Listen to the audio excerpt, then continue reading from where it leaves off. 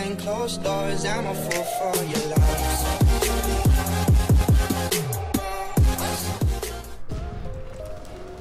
Hey guys, it's your boy Xcaven23 here. We're back with another YouTube video, and as you see, we're playing the World War II beta. And uh, you guys, I posted a poll on Twitter, and you guys, because I wanted to do a um a story time, and you guys suggested that I should do a uh, my first time talking about me buying my con like a first time buying a condom. Uh, so yeah, I, I was hoping that you guys would have done the uh, cat sex because that was more funnier because it was kind of a retarded thing. But hopefully, if we get enough likes or I post another poll, we can talk about that too. But uh, let's get into the story. So what had happened was, is my dad called me early in the morning and he was all like, "He had called me." He said, hey son, I know you're getting older now, and I know you're getting into women and sex and stuff like that. So I want you to go and buy. from like a store around us, right? So my reaction was like, "What?" I was like, "Dad, yo, chill. Like, nah, I'm not into that stuff." And he was all like, "Um." He was like, "No, I know, cause I started at the same age as you, so I want you to have be protected if you're having sex."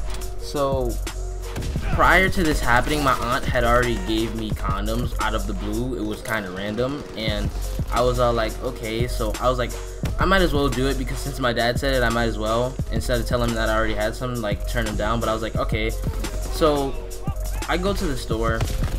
I walk in. It's cold inside the store. I'm nervous.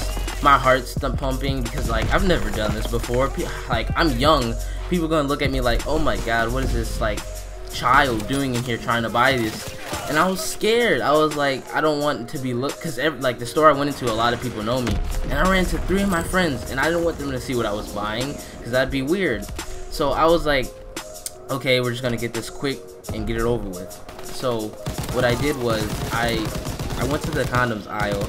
I just looked at it. It cost a lot of money too. That's what kind of got me mad. It cost like six ninety nine for three condoms. I was so mad, yo. I was like, that's stupid. How? Why do they cost so much? If you like, and then I was like, you know what? It's probably because we're underage. But I was like, yeah, it's whatever. So um, I was like, all right. I picked it up. I, I, I like I didn't want to buy it, so I was thinking about it, like, should I do this? Can I just tell him that I did, but I didn't? And I was thinking, I was like, dang, I don't really want to do this. And I was like, ah, I gotta get it over with. Um, right, so I go to the counter, it's like three people I know, and I was so scared.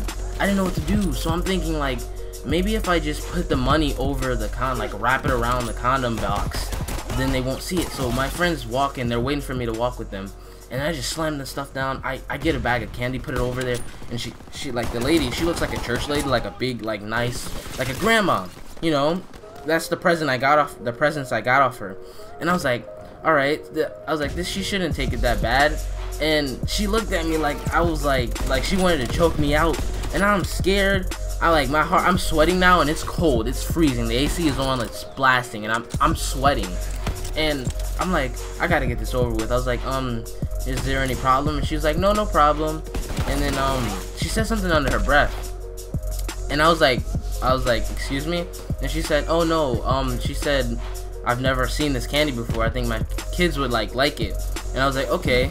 So I get, I after I get the condoms, I bolt past everybody just to get home because like that's so weird. Like i even brought a book bag so i wouldn't have to show anybody like it would like nobody would see that i bought anything. Because it's so weird because I'm, I'm young so it's kind of weird walking around like a neighborhood that everybody's used to seeing you.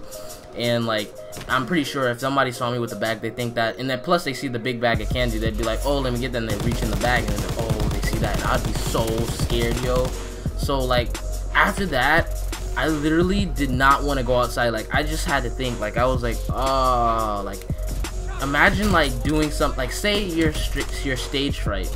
You have stage fright and you get on stage for the first time ever in front of a crowd of a thousand. That's how it felt. It felt like people were watching me that I didn't even know, even though they weren't. That's how I felt. I had anxiety. I thought people know who I were, and they saw me um freaking buying this and they were disgusted i was so scared like oh man i've never been in that position in my life and i don't want to be in that position ever again But thank you guys for watching. If you want another story time, follow me on Twitter and hit me up in my DMs because they are open. Or you can comment down below. Let's hit 10 or 5 likes, whichever one works. Thank you guys for watching. We're almost at 213 subscribers.